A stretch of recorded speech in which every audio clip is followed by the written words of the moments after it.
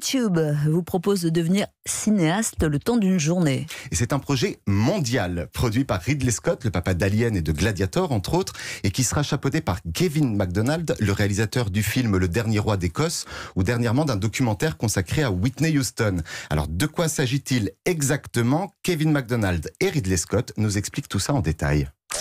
Ce 25 juillet, chargez votre téléphone, préparez votre caméra et faisons un film ensemble. Ce projet s'appelle Life in a Day 2020. C'est un documentaire participatif, un portrait du monde à un jour précis. Tout le monde est concerné par ce film, peu importe votre expérience. Un jour, vous pourrez regarder ce film en vous disant ⁇ Ah oui, c'était comme ça en 2020 ⁇ donc vous l'aurez compris, les deux cinéastes invitent les youtubeurs du monde entier à filmer leur quotidien sans phare et sans a priori, que vous soyez au cœur d'un événement planétaire ou tout simplement chez vous, tranquillement euh, calé dans votre canapé, vous pouvez proposer vos vidéos sur la page YouTube dédiée au projet.